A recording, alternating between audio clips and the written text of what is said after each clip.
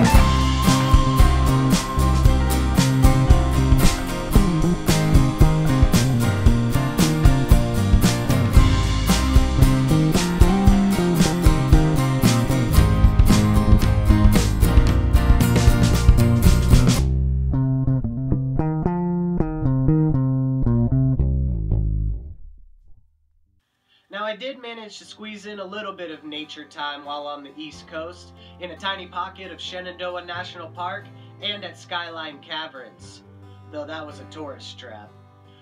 I will leave you with these positive images, hopefully to inspire you to take action and preserve these wonderful wild places. Much love to everyone. We need it.